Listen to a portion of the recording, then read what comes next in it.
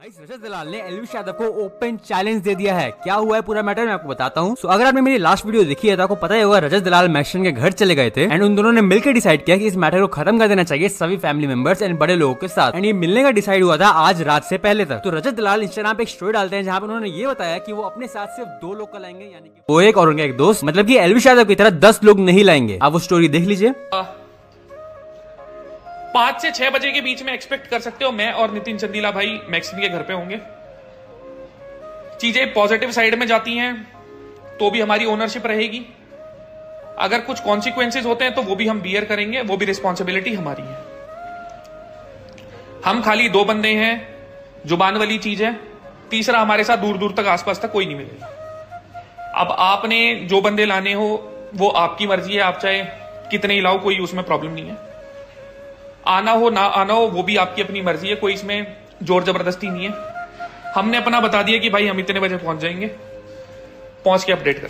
इसके बाद एलविश यादव रजत को ये कहते हैं क्या हुआ भाई? सिर्फ़ दो लोग क्यों आ रहे हो? बाइक में आ रहे हो क्या? यानी कि टू सीटर में आ रहे हो क्या? आप वो स्टोरी भी देखिए। भाई शाम को मिल रहे हैं शाम का अपना सीन है मिलने का। देखते हैं वहाँ क्या होता। है और भाई कह रहे हैं कि वे दो जने ही आ रहे हैं। टू सीटर में आ रहे हो क्या? जो दो जने आ रहे हो। बड़ी में आओ।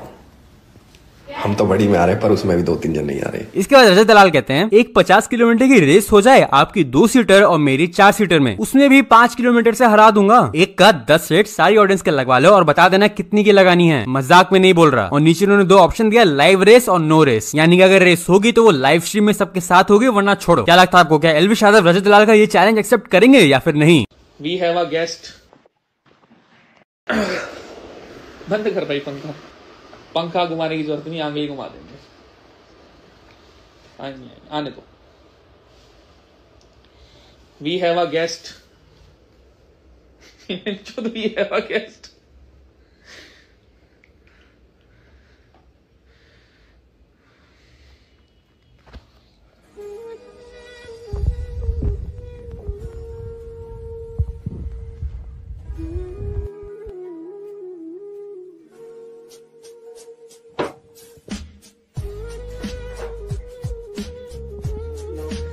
accept कर भाई। साइड में कर ले कर ले उसको उसको किसका बना रहे हो वो कैमरा बंद कर दे। मैं अपने हाँ। तो थोड़ी सी चीज़ें चल रही थी देखी होंगी। आगे मैं ज़्यादा कुछ बोलूँगा नहीं जिस भाई की बात है वही बात है। कैसे हो आप लोग?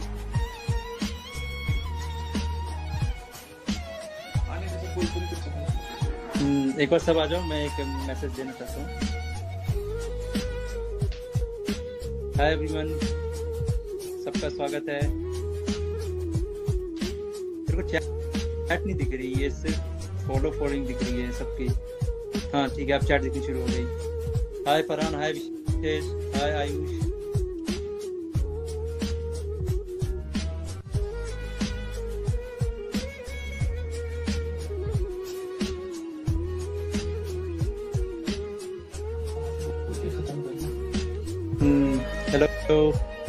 guys एक बार, एक मिनट तक हम बंदों के आने का वेट करते हैं। फिर मैं एक मैसेज देना चाहता हूँ। अच्छे से बात करेंगे।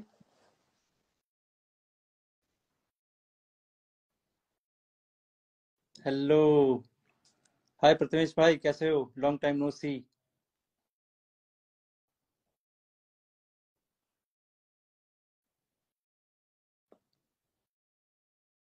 ठीक है गाइस तो एक बार सब आ जाओ।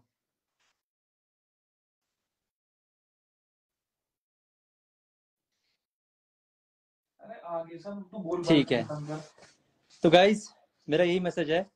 मैं चाहता हूँ एलविश मेरे घर आए हमारे बड़ों के बीच में बात करे और जो भी बड़े बड़े लोग फैसला लेंगे वो हम देखते हैं और मैं कल बताता हूँ इसका पूरा। तो यही है कि हमारे बड़ों के बीच में बात एक बार होनी चाहिए। तो मेरी यही रिक्वेस्ट है एलविश से कि वो एक बार घर आए और हमारे बड़ों के पीछे बात करे। भाई सब बोल रहे थे, बैठ के कराओ कुछ सीन तो। तुम सब रील बनाओ, हम चीज़ निपटवा देते हैं। ठीक है? ख्याल रखो।